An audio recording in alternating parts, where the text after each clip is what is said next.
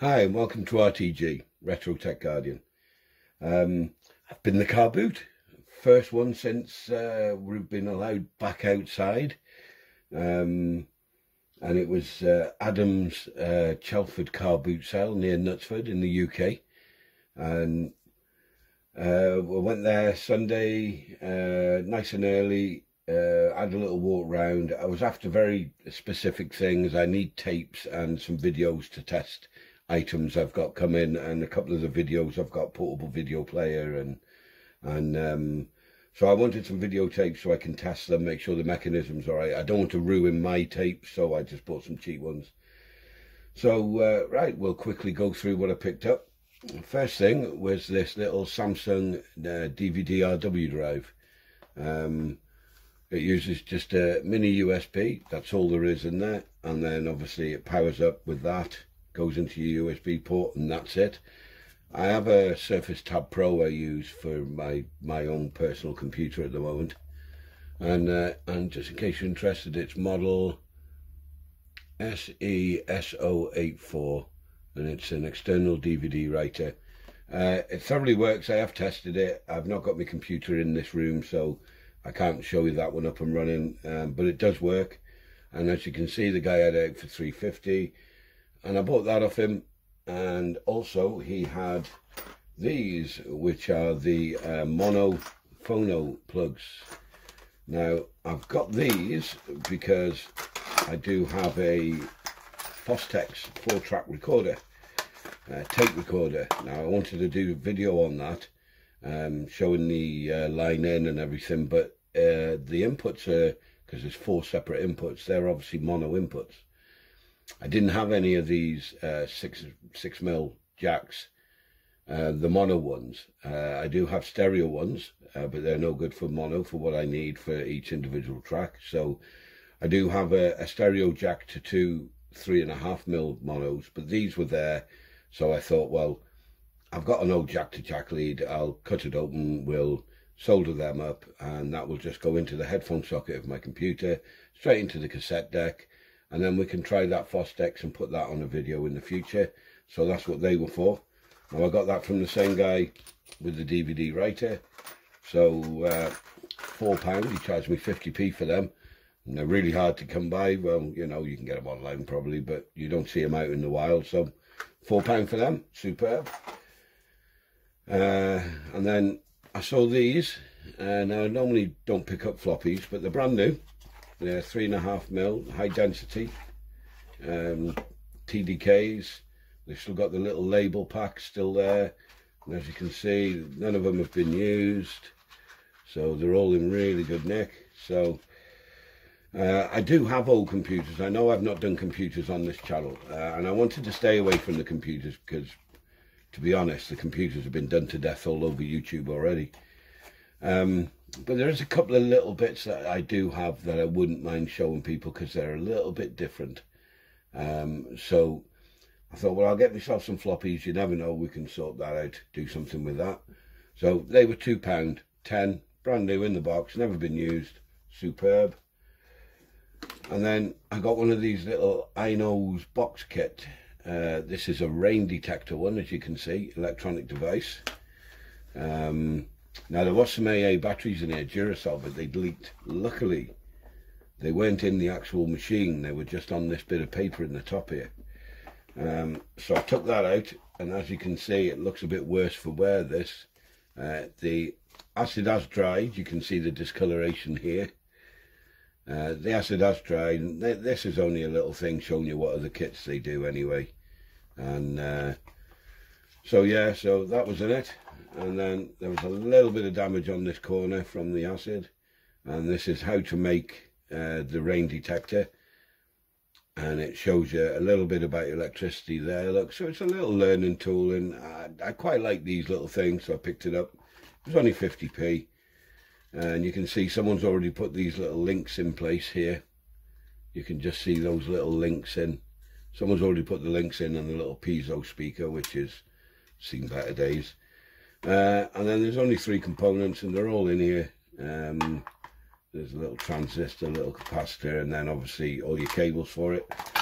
So I'll have a go at making it up just for a bit of fun. Um, but I do kind of like these little uh, electronic project kits. So, again, 50p. It's not going to break the bank. I quite like them. Uh, so that's that. Then I did find some tapes. So I found a Sony 90. Um, these are all 50p. Well, this one was 50p. Uh, a 90 minute one. Uh, unfortunately, there was no chrome or metal tapes, which you know, you to look at the drawer. But these are just for testing the old tape decks, and I don't care if they get chewed up or spat out or whatever. Um, and I can just splice them, put them back together, and it, it won't bother me because there's none of my own personal recordings on there. So then I found a Sky one, brand new in the packet. A guy charged me a pound for that one.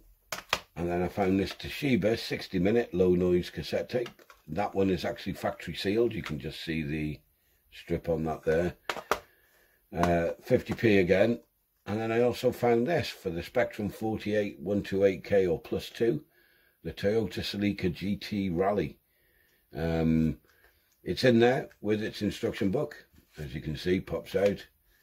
Tape looks in half decent condition. Now, I don't have a spectrum at the moment to test this, but it was only 50p, and I thought, yeah, do you know what, for 50p, I'll pick it up. And uh, so yeah, so I thought that was a good little find.